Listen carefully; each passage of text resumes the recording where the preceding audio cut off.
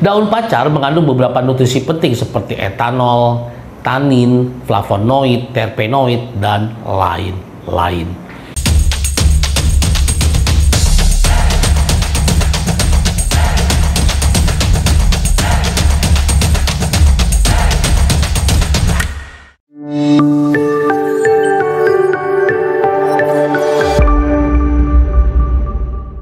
Halo semuanya, selamat datang kembali di Dokter Ferry TV, channel kesehatan yang penuh dengan fakta-fakta menarik.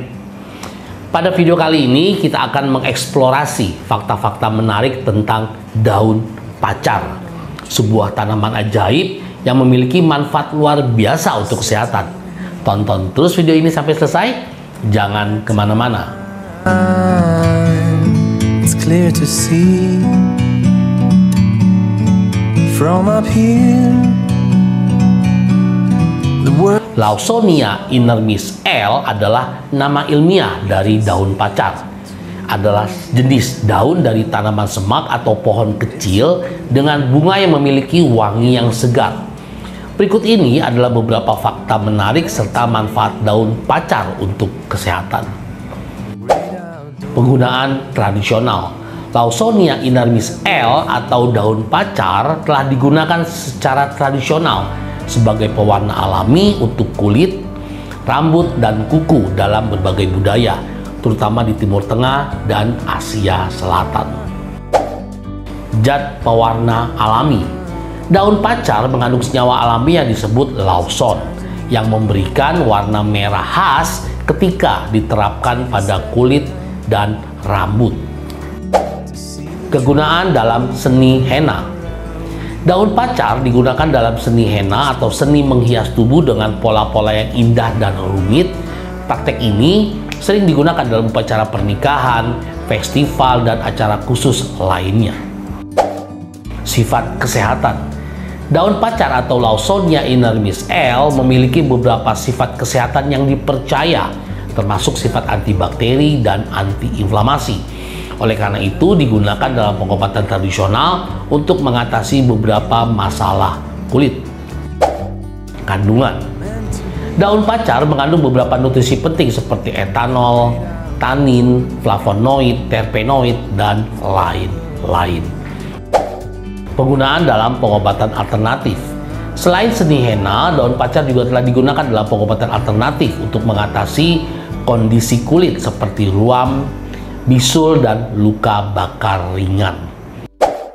Habitat Daun pacar adalah tanaman yang tumbuh subur di daerah tropis dan subtropis. Ini dapat ditemukan di banyak negara termasuk India, Pakistan, Iran, dan berbagai bagian dari Afrika. Penggunaan modern Selain penggunaan tradisional, ekstrak daun pacar juga digunakan dalam industri kosmetik modern sebagai bahan pewarna alami dalam produk rambut dan kosmetik lainnya. Antibakteri Kandungan zat aktif yang terdapat dalam daun pacar seperti flavonoid, alkaloid, dan etanol menurut jurnal Mikrobiologi Science mempunyai peranan sebagai antibakteri. Pengobatan kulit Daun pacar digunakan dalam bentuk pasta untuk mengatasi masalah kulit seperti luka, gatal-gatal, dan ruam.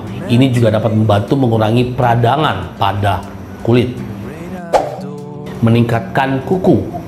Dalam beberapa budaya, daun pacar digunakan untuk merawat dan memperkuat kuku. Mengatasi sakit kepala. Dalam pengobatan tradisional, daun pacar kadang-kadang digunakan untuk meredakan sakit kepala. Cara mengolah daun pacar sebagai pengobatan tradisional. Untuk perawatan kuku, Siapkan beberapa helai daun pacar yang segar, lalu bersihkan daun pacar tersebut. Rendam dengan air matang secukupnya dan biarkan semalaman. Saring air tersebut. Boleh tambahkan madu secukupnya, minum satu kali sehari. Untuk sakit kepala, siapkan beberapa helai daun pacar yang segar, bersihkan daun pacar tersebut. Haluskan daun pacar, tambahkan sedikit cuka hingga berbentuk pasta Tempelkan campuran tersebut ke pelipis mata. Namun, perlu diingat bahwa penggunaan henna untuk tujuan medis harus dilakukan dengan hati-hati dan sebaiknya berkonsultasi dengan profesional kesehatan sebelum menggunakannya. Beberapa orang mungkin juga mengalami reaksi alergi terhadap daun pacar. Jadi tes sensitivitas sebelum penggunaannya sangat disarankan.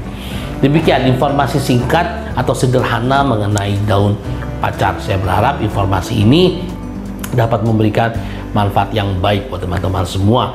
Dukung terus channel ini Dr. Ferry TV agar channel ini bisa cepat berkembang, channel ini bisa tetap terus eksis, memberikan edukasi yang baik terutama dalam bidang kesehatan dan kedokteran. Jangan lupa juga setelah menonton video ini berikan tanda like, subscribe, bunyikan lonceng notifikasinya dan share sebanyak-banyaknya. Jumpa lagi di video-video berikutnya bersama saya Dr. Ferry Juliawan. Tetap semangat, salam sehat.